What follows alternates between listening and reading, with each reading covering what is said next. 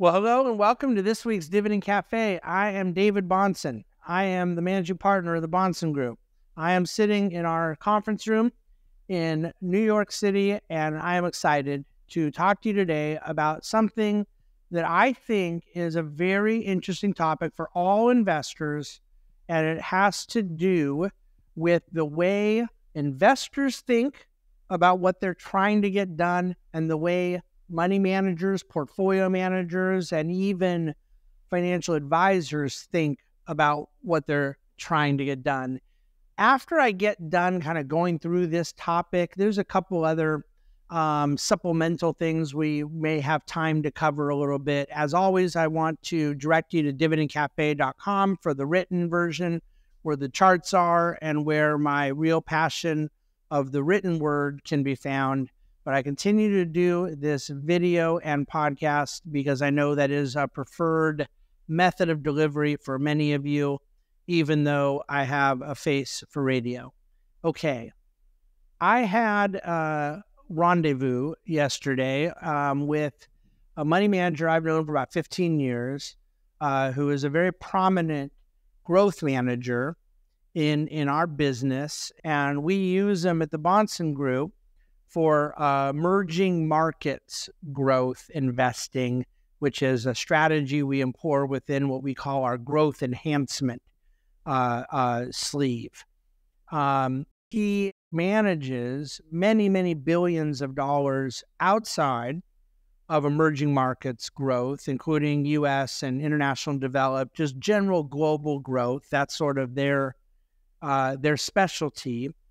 But there was a small uh, gathering of a few portfolio managers, investment professionals, and whatnot here in Midtown Manhattan yesterday, and and we just kind of did a little roundtable discussion.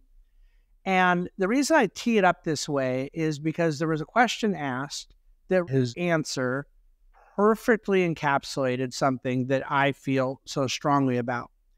And so I want to set the table for you a little. Um, he, as a growth manager, um, had had a very large weighting in technology, as many growth managers have, and certainly as I talk about all the time in Dividend Cafe, as the index itself has. Um, in fact, right now, the top 10 companies in the S&P 500 um, represent 36% of the index. 2% of the companies are 36% of the index's weighting. And as I've talked about, tech has been about 31% and communication services another 10%. So you're really dealing with a very, very top heavy uh, uh, market from a sector standpoint. And there's no way a growth manager can go uh, five minutes without someone talking about this. The question that was asked to him, as he has significantly downweighted their exposure to tech, particularly to big tech and to the semiconductor space and some of these real popular Mag 7 names, as they've significantly downweighted their exposure um, to, to well less than half of what the index would have in technology. The well meaning question was when you own a lot of these big top 10 most popular names and they go down, um, it seems that most investors won't care because they understand, well, everybody saw those things go down. But when you don't own them and the index goes way up, then people do get upset that you don't own them. How do you expect to outperform the index when you don't own these things that are such a large contribution to the index. And you might be thinking right now, prima facie, that's an uh, okay question. Maybe it, it kind of makes sense. It seems like a reasonable um, assumption and then a question you'd want to get answered. This growth manager said, while this is a very philosophical question requiring a philosophical answer, that first, let's just start with the fact that that mentality that's embedded in the question, that reasoning is why most managers are doomed to being closet indexers. That essentially, while it seems as if you're asking about something that could help you outperform, you're basically taking for granted something that by definition means you cannot. How can you outperform something when the presupposition is you need to do your best to make sure you're right in line with it? In other words, if one has a conviction that they want to have a much lower weighting in technology, that conviction could be wrong, could be right, but to not act on that conviction because you want to be hugging and and and, sticking close to what the actual benchmark itself is doing effectively makes you a benchmark investor or something very adjacent to it. And I believe that that is what most money managers have done. And as he was saying this, it occurred to me I wrote a Dividend Cafe about this not three months ago. The business model of how so many managers think about this. This question almost gave away the whole issue in saying, look, from a career standpoint, if the tech stuff you own drops a lot and you own it at the same level as the market, clients aren't going to like that they're down a lot, but they're not going to fire you because they won't blame you for it being down because everyone's down. These things were so popular. We all suffered through it together. But if you don't own it and they keep going up, then you have the risk of really underperforming. Now, of course, what's missing is the possibility that they do drop, and by not owning, it creates outperformance by not owning. But the point being, I think a legitimate one, that if one is a portfolio manager selfishly just trying to think about what will not get them fired, they probably are best off to just uh, follow the crowd in that same capacity. And his answer was filled with moral authority, but also pragmatic conviction about managing money. And this doesn't speak to whether or not someone's right or wrong to believe that owning the technology sector at, at its current valuation, at its current weighting, uh, with its current fundamentals, let alone technicals, et cetera, it, that could be a good idea or a bad idea. I've obviously spoken plenty about what I think in terms of the valuation, both relative and absolute, um, and so forth. But but the issue right now is not whether or not managers that feel the tech is frothy or that they want to be underweight, or even managers like us at the Bahnsen Group that have a, a very strong philosophical commitment to dividend growth as our driver of investment thesis it isn't even about whether or not those things will prove to be right or wrong in the next three months, six months, 12 months, what have you. The point is that to do something different than you believe is right, than where your convictions lie, simply based on popularity and size, is immoral. And it is anti fiduciary. And I believe it is unprofessional. And I think it is a horrifically bad idea. And yet, I think that's what a lot of people are expecting. And therefore, when they wonder why there's so many managers that are just right around the index, you say, well, wait a second, this is um, a self created dynamic uh, because too many are uh, unwilling to take the uh, uh, uh conviction and apply their own investment thesis with conviction into how they execute in the way they manage money. So I think that there is a great moral authority and a profound mathematical truth in in what is being expressed here, and I felt it worth repeating. The concentration reality is what it is: thirty six percent, like I mentioned. You you could say I want to outperform the market for whatever reason. That's my goal, and when 10 companies are 36%. Keep in mind, at the point of dot com and the big tech and the tech uh, crash in March of 2000, the top 10 companies were 26% of the S&P. They're now 36%, okay, highest in history. Um, but how do you then outperform? Well, there's three possibilities. You can make those top 10 companies 50% and then if they go up, you'll own more of them than the index.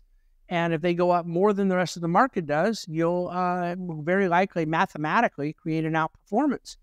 You could do something much lower than 36%, including 0%. And if they go down, then you're very likely going to outperform because you don't own this thing that has really dragged the market because it's 10 companies that are such a high weighting. Or you could own exactly 36%. And so you're in line with the S&P on these 10 companies and then with the other 64% of the portfolio do something very different and if it does better than the S&P you'll outperform and if it doesn't you won't. That's obviously not going to be what a, a lot of people are going to do. Um, I want to read to you how I answer this question because I not only reject the notion that I'm supposed to care at all about this question, that I don't believe it matters to any real person in a given quarter or given year what their uh, performance number is relative to some arbitrary benchmark that doesn't even represent their actual portfolio or goals or income or liquidity or or risk tolerance or timeline, what have you. But regardless, even if I pretend, um, is someone serving their clients by saying, you know what, I'm going for this outperformance thing. I'm going to go 50% with 10 companies that are already highly overvalued. Um, maybe that's what they're supposed to do. I, I don't think so. It strikes me as outside their fiduciary obligation. Doesn't sound prudent, doesn't sound smart. But let me tell you my answer as to the way I think about this. I believe in dividend, and I'm reading straight from dividendcafe.com this week. I believe in dividend growing companies that will sustainably grow their dividends over time and believe that some years things like popularity and size will do better than cash flow, profits, and value. And over time, I believe that cash flow, profits, and value will deliver the outcome that we're committed to providing for clients. The raindrop race along the way runs counter to fiduciary duty, and I will not be sucked into it by a culture that's frankly lost its mind on a whole lot of things. Why should this be any different? I think there's an important mentality. Um, I don't believe that investor needs are met by people that want to give the culture what it wants, even if they don't think it is the best thing for the culture because it's popular. Size investing speaks to popularity. Popularity does not necessarily speak to value, but it can very commonly speak to performance. It can do quite well for sustained periods of time. Uh, ultimately, over multi year cycles, there's absolutely no question. Testimony history is abundantly clear and um, value, profits, cash flows matter in longer periods of time more than popularity and size. It's a very simple thesis and one that I uh, have studied, time tested, uh, stress tested, analyzed at great length, and done so with the very best intentions for clients in mind. So, right now, when you look at the state of affairs, um, I think tech stocks seem to be in some technical trouble. They could very well kind of ride through this a bit. There's there are buyers at certain levels of dip. Um, their flows, the positioning they have in the market is definitely extreme levels. The weightings are so high, amount of money that's gone in. So there's a vulnerability there that there could be a, a big run to the exit at certain triggers. Uh, the valuations are obviously extremely expensive. I do think, as we've talked about, that uh, rotation is on the table into consumer staples, into utilities, into value, into small cap, into real estate, into other sectors of the market that had been more underappreciated. I think fundamentally, the um, recession risk in the economy is growing. I don't think we're going into recession anytime soon, personally. There's reasons I believe that, that I've written about a lot. Um, but I do think the economy is slowing. And I put a chart in Dividend Cafe of the two year treasury yield. There's just no question. It's gone from 5% to 3.5% very quickly. Now, three and a half is still well above 1%, where it had been for a very long time. Um, and the Fed has not begun cutting yet. And this is obviously the bond market begging the Fed to begin cutting, which they will do at some, they'll start to do at some level next week in the FOMC meeting. Uh, but when you take all those factors put together with valuations, with uh, flows, with rotation, and with recession risk, um, I, I think fundamentally even apart from all the other common sense arguments I'm trying to make, I think people are very wise to think prudently and uh, avoid the popularity thesis at this time. All right, let me move on a couple other things. We'll wrap things up. Um, home ownership. I found this fascinating. The silent generation, which would be the one uh, that was before baby boomers. And so I don't, I'm assuming it would have started anyone born maybe in the early 1930s up to the mid 1940s, late 1940s. Um, when they were 30 years old, the uh, 55% of them owned a home. When baby boomers, who were born from 1946 to 1964, when boomers were 30 years old, on average, 48% of them owned homes. My own Generation X at 30 years old, 42% owned homes. Today, 33% of 30 year olds own homes. So obviously, the numbers have come way down, and I'm fully uh, uh, into the obvious, like one of the quick takeaways that home ownership is a big problem, the affordability thing. I don't know very many macroeconomic analysts that have written about this more than I have. I'm obsessed with this topic. I think it's a failure of public policy and so forth. However, I do want to point out I don't know that the 33% of 30 year olds own homes versus it used to be 55, 48, 42% through these successive prior generations. I don't know that that's only a comment about home affordability because silent generation, when they were they were grown adults at 19 years old. Um, there's definitely been delays, not just in home ownership, but in marriage, in having kids, in career development, where you know we do have a more societally accepting uh, uh, attitude towards the 10 years of young adulthood that that that launch people in into the world. And therefore i think that just culturally a lot has changed that has resulted in deferred home ownership.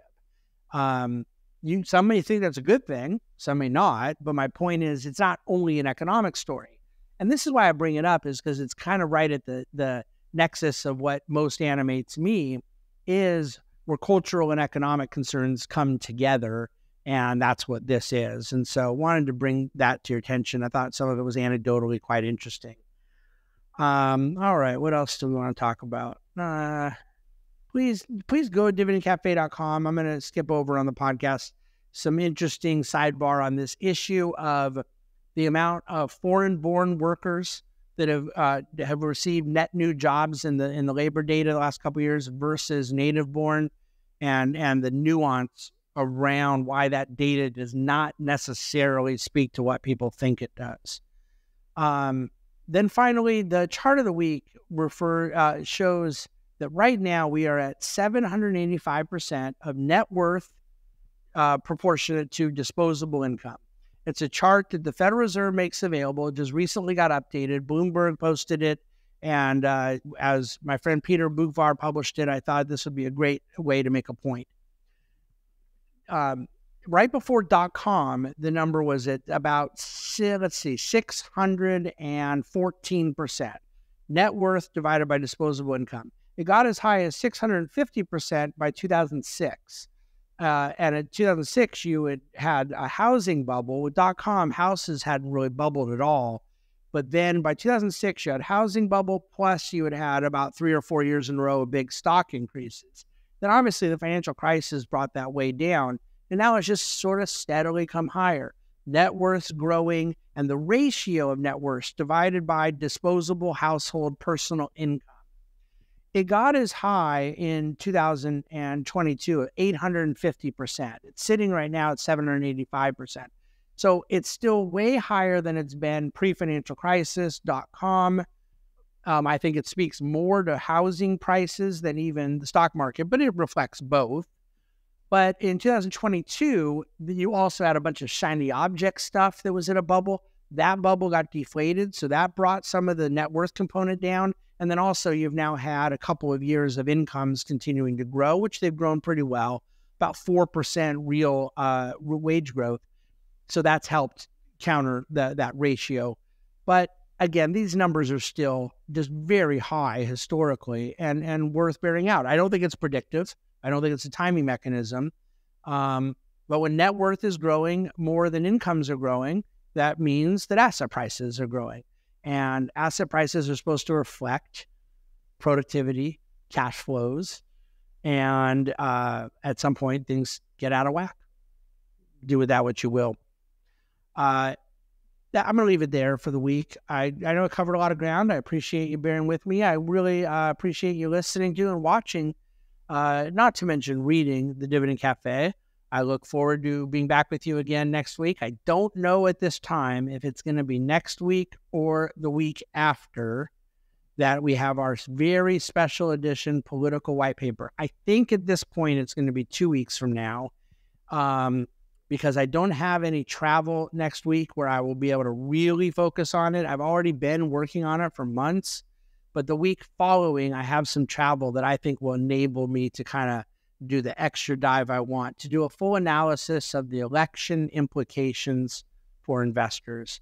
So if it isn't next Friday, it will be the Friday after that, and I'll leave you in suspense as to what else may be going on. And when I say I'm leaving you in suspense, it's because I myself am in suspense.